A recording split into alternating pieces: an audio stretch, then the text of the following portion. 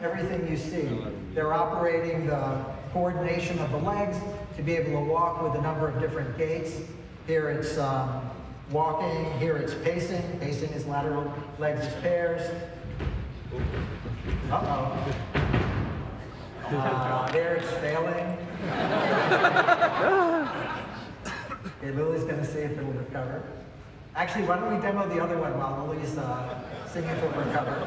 So we have a second spot with a different payload. This one's got an arm on it.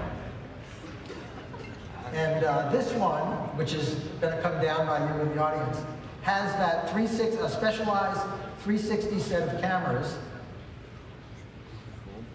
And if you look up on the screen, you can see some of yourselves being broadcast. So we have a radio link back from the robot to backstage, and they're broadcasting.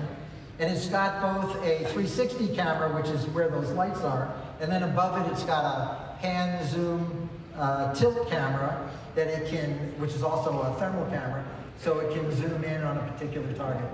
We're going to go up the aisle. Please don't anybody reach out and pet the robot, even though it might be.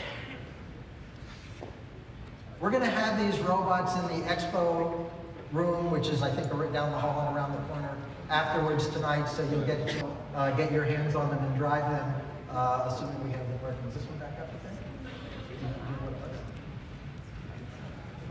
Okay, so we're going to switch back to this demo.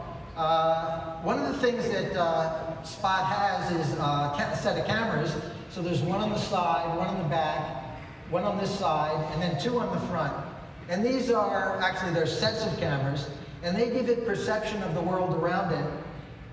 Uh, for instance, it can go over obstacles like this one, where it sees the obstacle as it comes up. It uses a complicated set of programming in order to adjust the body motion, the leg motion, keep it balanced, and also do what Lily uh, is instructing it to do.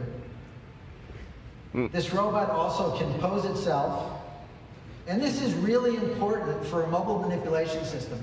Any of you know about, about robotics know how limited an arm is by itself. It can only reach a limited range, it conflicts with itself.